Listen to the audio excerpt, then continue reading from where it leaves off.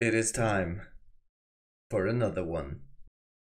Alright, welcome back to another episode of TNO, The New Order. Today we're going to be playing as Italy, so let's just fucking get into it. Okay, so I've uh, done the army shit. I'm currently making sure that I can take care of the navy because it's spread out everywhere and I cannot have that. um, so let's just take a quick peek at the decisions and events. First of all, we have to uh, have this empire management, I am assuming, to make sure no part of the empire here uh, breaks away. Don't know how to use these points though. Uh, then we have the uh, internal problems with uh, I didn't didn't read this completely, but you know I guess we'll, we'll see. I just have to make sure that the faction that I want to go with uh, stays the strongest. Um, here we can uh, do projects in the south of Italy, which uh, seems to be relatively poor. This is our nuclear project that we're going to invest something some in, uh, but we'll see. And this is our discovery of oil that we can further here with political power. Alright, so then we have our um, our focus tree. We've got uh, the Forza and Sicurezza uh, trees, and I don't know which one does which, but I want to uh, go with some reforms and stuff, and I can see that Prepare Special Committee is probably the one that's going to give us reforms and not the one that's called Reforms Can Wait. Alright, so that was the first crash I've ever had in TNO, but let's hope that doesn't continue through this Italy playthrough. Oh yes, we're on the re road to freedom. We'll get a, a change in popularity for authoritarian democracy. Okay, so first we have a new expert for the nuclear program. I fired the last one. I cannot read anything here. Sure, welcome him on board. I have no fucking clue what's happening. I couldn't read any of that. Alright, so now first we have to uh, handle the Balkan situation. Which I am going to assume is going to bring a war with Croatia. Oh, and uh, talks with India will actually boost our own democracy a little bit, which is very nice. Um, oh, Bormann is the successor, yeah. I don't care much. Okay, and there's the first um, decision that's going to change some things here. Della Chiesa requests more men. Alright, as requests for Italian reinforcements are getting increasingly frequent and urgent, it seems we will have to make a decision. Now, I think, yeah, we'll, uh, we'll keep our power in the Levant. Oh, we're gonna give rights to refugees. That's gonna make Germany very, very, very unhappy. And we're gonna have the Algerian summit probably with, uh, with Spain. We'll see how that works. I mean, I'm going to attempt to keep uh, everything alive here with Turkey and the Iberian Union, but we'll see how that how that's going to work. Um, exactly, we'll see. Wait, why are all my divisions just chilling on one tile? And why are they not moving in? What in the seven hells is going on here? Am I being retarded here, what's what the fuck is happening? The Roman Empire was all about assimilation and integration, after all. Yes, I think we should definitely take in the refugees from the German Empire. We're no longer much of a friend, uh, much of a friends, are we? Wait, and you're doing it too. Why? Why are you doing this? What the fuck is that? What? Have I forgotten how this shit works? Or how? What the fuck is going on, dude? Okay, it seems that um, war is the only solution against Croatia, but we'll see. First, we'll have the Malta Conference. Uh, I don't know how you can actually keep everything together here. Because uh, up until now, I think every time I've seen this stuff, uh, someone bombs the Malta Conference. Ciano gives the opening speech and he's apparently very blunt about the fact that there are problems that need to be addressed. So let us see what happens when the Turkish delegates talk. I hope they're not the ones that get bombed to fucking shit. Okay, so the Turkish speech is very blunt.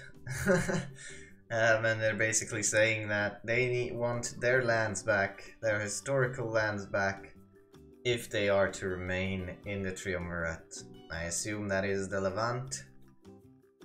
Um, but we'll see what it is exactly that that entails.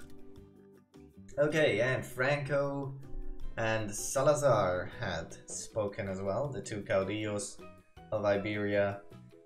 Not uh, blunt at all. They uh, say they have disputes they need to have, uh, they need to talk about as well, but without threats or anything, and they uh, they speak about um, the greatness of the union of these three countries. So we'll see how this goes. And the discussion over the Suez Canal starts, which uh, currently is under control of Italy, who taxes Iberia and Turkey the same as any other state. Okay, the Spanish, or sorry, the Iberians demand that they get to use the canal, canal as well as us. And they'll give us aid money, and I think, yes, maybe we can come to an agreement. Oh, uh, Iberia, Iberia is, uh, they, they are not having it, huh? the same time in four days we'll see if Germany manages to put that 8 to a 9 or a 10 which would be quite annoying. Uh, we'll see, we'll see what happens here. This is quite interesting. Okay, Germany went to 11, so we win the first round. No, the second round. Wait, I didn't notice that the first round had started. This is just stupid. Why does it not tell you? What? What the? I didn't get a chance. I didn't get a choice. It's just this is just a story. Like, Gianna refuses again. That's just how it is. You can't do anything about this? Alright, so we're at the border conference and the Iberia is not here because they were mad at us. um, Turkey basically wants uh, Rhodes, which is this island here. I, I assume they want this land. And they want Cyprus from Greece, which is our puppet, so basically also from us. Uh, they want their rightful Turkish lands, as they state, and uh, yeah, maybe we can come to an agreement, or is this also just scripted to fail? Is it even possible to um, to keep the triumvirate together, or is it just scripted to fail? Like, I mean, it doesn't feel to me that my decisions so far have really done anything. Okay, so the Turkish and the Iberians blame. Uh, us, of course. Triumvirate is gone. And there was absolutely nothing I could do against it. Whenever I had a choice, I chose the diplomatic thing. So what's the fucking point in giving me a choice even? I mean, that's that. I mean that pisses me off a little bit, but you know, whatever. I guess we're playing through a story. But on the bright side, that does give us a uh, new focus tree, what are you doing? you even have divisions. I warned the Levante. Alright, here, yeah. Okay, let's send volunteers. We can send two divisions, so that is what we will do. We don't have tanks or anything like that, so uh, just gonna send normal infantry down there. Okay, so in a day we should get two to four more points, which puts us above Germany. Nice. And I can't do anything about that anymore, because uh, in two days it's over. Get fucked, Germany. Get absolutely fucked. Yeah, I mean, as long as I can't declare an all-out war on uh, Turkey, I, I, I can't, I can't do anything. And because we're cheesy fuckers, um, we're gonna do this. That gives us 2 to 4 points. 17 days before it's over, meaning I think the AI will only notice that it's happened after it's happened. And then they won't have time to actually react anymore. Okay, one day and then we'll see that we've boosted to 8. Oh no, and now they have nine days left to do their thing, but in five days it's gonna be over. So we kinda cheese the AI. okay, after the second crash as Italy, we apparently uh, can now sue for peace in the Levant. Can either go with Ciano's deal, um, which is basically just they have to demilitarize the zone and we go back to borders, or we can go with Scorza's deal, uh, they have to give us Damascus and stuff like uh, a bit of this region. But we'll go with Ciano's deal. We don't want to fuck uh, with Turkey too much because we're gonna lose this eventually. And yes, they accepted, and we have won the war. That is very good. Uh, Germany has pulled a cheesy boy on me. Not like that. They're just uh, at 15 days, and in 9 days, um, they will will get at least one point, but it's more likely they'll get more. So we'll do the 1 to 3 as well, the one that costs 200 manpower. And we're just gonna hope that we get a 2 or a 1 and not a 3. The moment of truth is upon us. First Germany will update their thing. Oh, they made it a 10. Are you fucking kidding me? I need a 2 on this. I really need a 2 on this. Fuck off, I got a 1. Well, come on, give me the event. Bulgaria sides with Italy. That's very good. Okay, so now there is going to be a conference in Verona um, where the problems between Carlo Scorza and Ciano will be addressed between the reformist and the hardline um, fascist. I have had so many events pop up now about this stuff, like keeping Africa and the Levantine uh, under control like, it is difficult to keep an empire of this size and this diversity together. And so the conference begins. Okay, so Ciano has spoken against the Ministry of Popular Culture, the Min Pop, which basically censors anything uh, media-like and Scorza speaks for it, so now we get the event of the council votes. Yeah, Scorza's proposal is shot down. Okay, the next reform is on the black shirts, Ciano wanting to reform them. They're sort of like the SA uh, in Germany. That used to be the SA. Let's vote on the black shirts. Of course, it passes, yes. And now the council uh, votes on the trade unions. Of course, Ciano's plan has passed as well here. Oh, now we are talking about uh, getting rid of the Acerbo laws, or at least reforming them, which basically make the fascists the only party um, this would be a step towards democracy, and well, Scorza is not having it.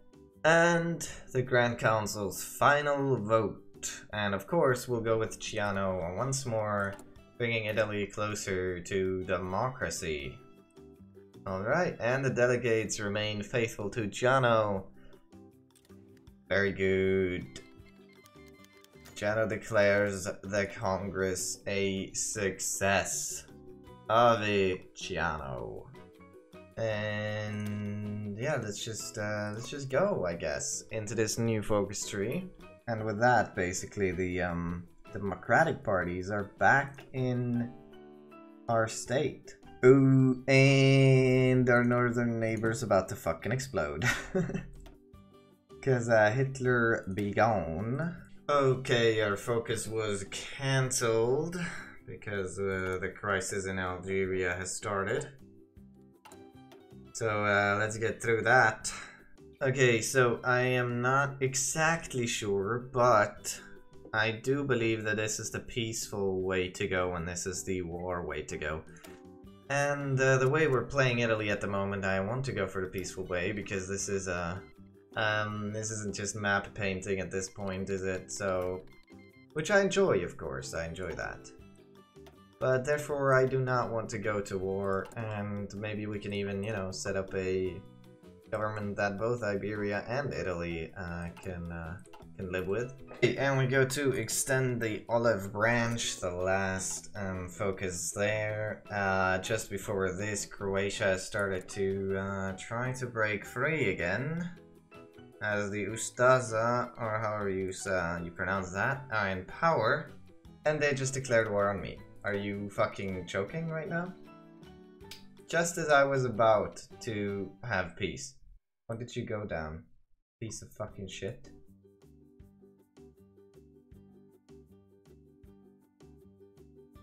Okay. You're a fucking twat. Do you know that? You're absolute fucking twats. There's just not. I mean, that's just all I can say. No, you're just fucking twats. Fucking piece of shit Iberian cunts is what you are, and that's just a fact. Greece and Croatia has broken free right now? Are you fucking kidding me? Yes, they're both gone. What? Wait. Are you fu- they're- mm. No, god fucking damn it, I don't know what to do here. We'll shoot only if it's absolutely necessary. I would like it very much if my divisions could finally get there. Where shall we meet? Well, this might be stupid, but we'll meet in Athens.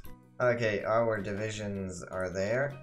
And with that, the war in Algeria is over. We have, of course, won.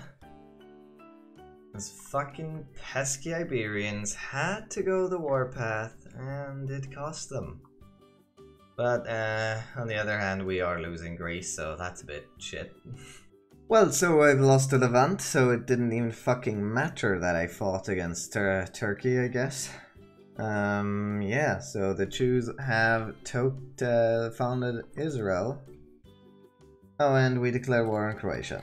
Something I am very willing to do, actually. Um, you know what? We're just gonna micro this. It's not, I don't have a great air force, like, at all. But it is an air force nonetheless. Yeah, I mean, Croatia didn't... Well, yeah, there they go. Croatia didn't really stand a chance. Uh, and now they're a puppet again. So that's very nice, isn't it? Yes, truly nice. And there we have it, the National Focus Il Duces Democracy completed. And we got the gift of democracy. And we get the National Focus Tree, Italy, Ciano Reform. Are we already democratic? No. The 22% fascists are still in power.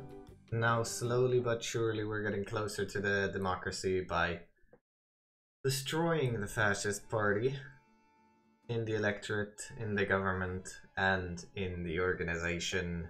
Okay, as we are building our democracy, let's just have a quick peek at what's going on in the world otherwise. So, uh, England has won their civil war. Um, Bormann is destroying everyone, but somehow Heydrich is still alive in Luxembourg. Moscow has fallen apart again, but this time uh, democracy has not come through in the Ukraine, uh, but Moscow has been reunified this time by Verhofstadt. What needs to be stated is that Kemerovo has defeated the Siberian Black Army. That is the first time I have not seen them win in the center here. Um, we still hold the Suez Canal, so that's good. And Yemen and Oman are still doing fine. Oh, and finally we can exile Scorza. He is gone.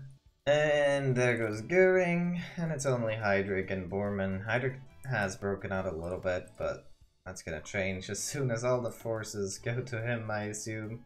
And that is the end of the German Civil War.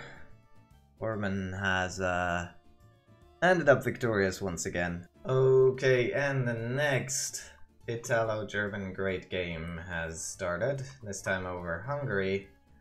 And we are already on 8 there on 0, so unless we have something that gives us a 1 to 2 points, we will just wait this one out. And I think we have just about won the first round against Germany for Hungary. Me and Germany are both on 7 points now, and in a day it'll be resolved.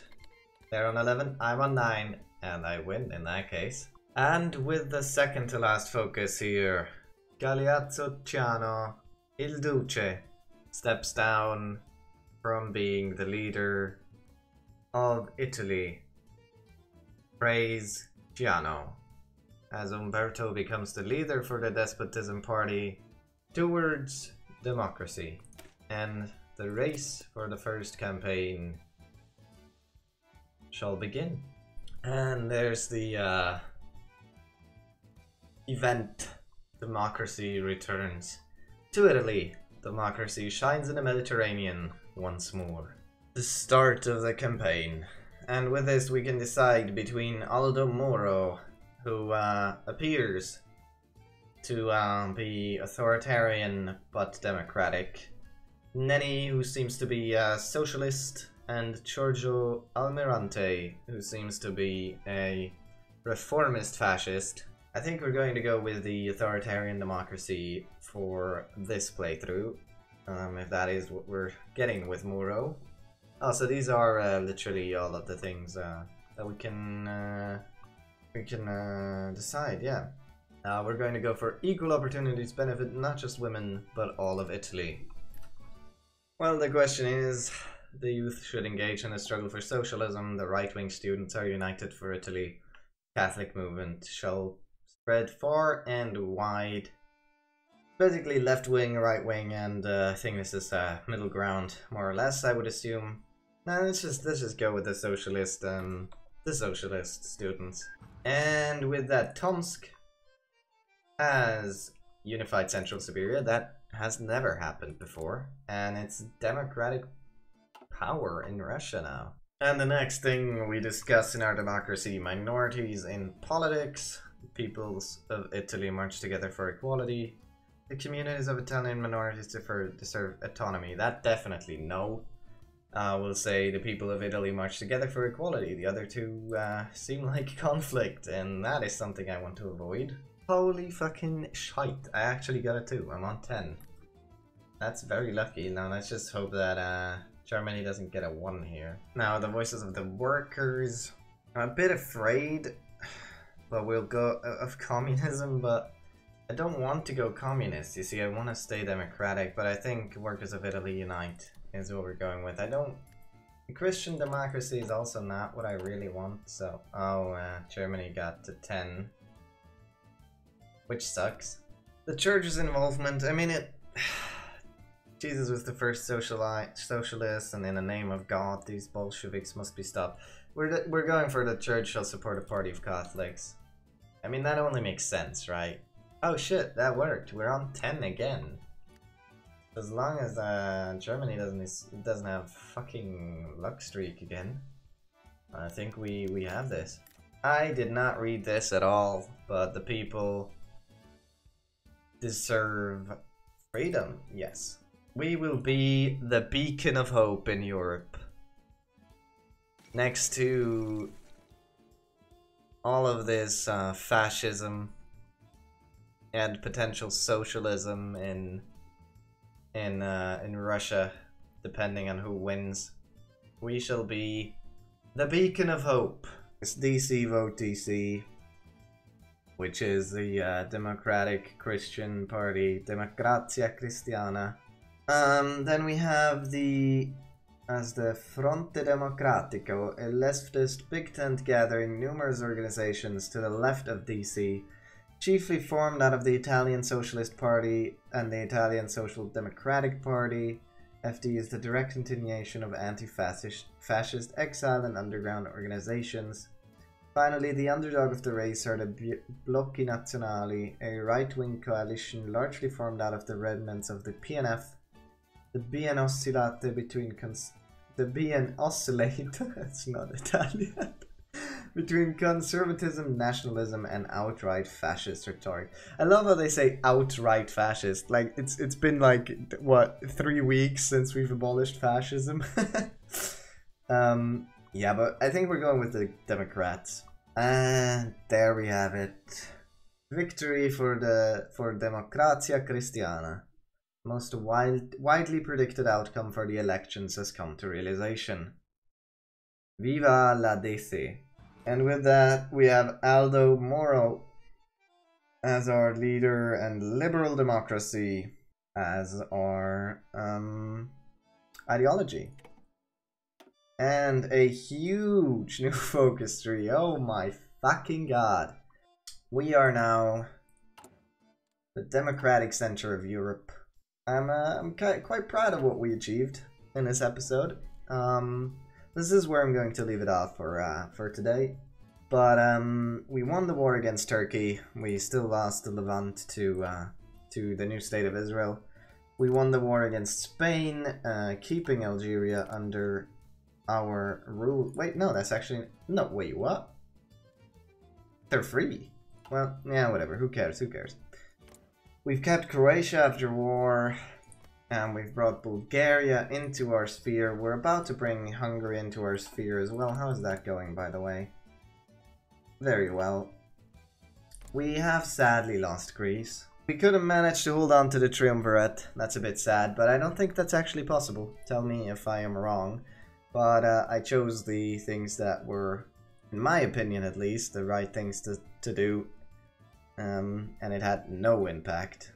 Uh, yeah, so that's all for this episode. We'll continue this uh, playthrough in the next episode. If you enjoyed, leave a like and a comment, and consider subscribing if you have not already. And that's all from me, so see you all in the next episode. See ya.